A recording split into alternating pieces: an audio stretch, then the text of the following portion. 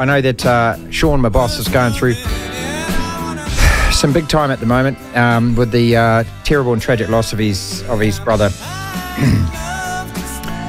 who uh, took his own life a couple of days ago, and uh, deeply affects all of us here. And all our love and thoughts and prayers to the whole family, Sean.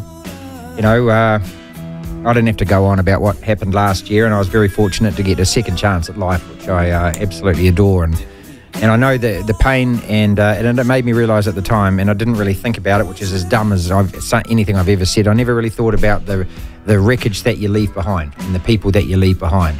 And so this is what Sean's going through at the moment. It's just uh, you sit there, you wonder, you question, and you think. You know, I've had a couple of you know very close friends commit suicide on me, and uh, not on me. I mean, on everyone that they loved and knew, and and you sit there the whole time questioning did I do enough? Did I know enough? Did I say enough? Did I contact enough? You know, all of these things. And in the end, there's nothing.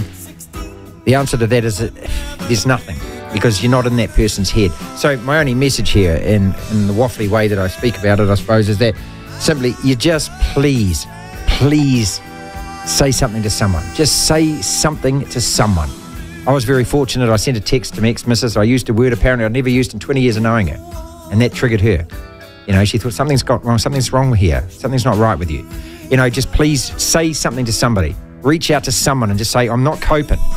And I tell you what, that person's going to look at you with all the love in their eyes and say, It's okay, I'm here. Let's work this shit out, right? Please, please, if you're ever thinking like that, just remember that.